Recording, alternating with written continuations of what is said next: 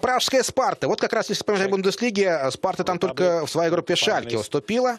Но, с другой стороны, имела большое преимущество над остальными конкурентами, в роли которых там выступали греческий Астерос Триполис и э, кипрский Апоэл.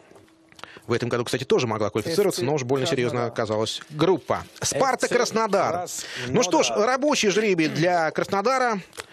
Ну, во-первых, хочу поздравить наших болельщиков э, с тем, что мы вышли в весенний этап э, Лиги Европы. Мы наслаждаемся каждой минутой. Для нас это очень такое новое. И я думаю, что болельщики наши получают удовольствие от того, что мы прошли дальше.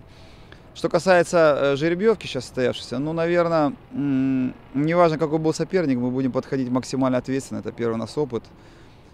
Если мы говорим о плюсах-минусах, ну, минусы мы в себе ищем. Все-таки мы потеряем Кабаре в первую игру. Игрок для нас очень важный. Э, и, наверное, надо сказать, что Спарта очень тяжелый соперник. И мы видели это в игре с э, ЦСКА. И э, в групповом турнире они с немцами были, Шальки, по-моему, да, и две ничьих. То есть это очень достойный соперник. И может это не первый там топ-5 чемпионатов, но Спарта это очень сложно для нас будет. Я думаю, что это будет очень интересно. Из плюсов, наверное, то, что чехи тоже начинают чемпионат весной с перерывом. И до нас они, по-моему, только всего одну игру сыграют. То есть э, мы будем в этом плане в равных обстоятельствах. Я думаю, что это для нас плюс. Ну и второй плюс, наверное, то, что все-таки мы проводим первую игру на выезде, что для нас тоже хорошо.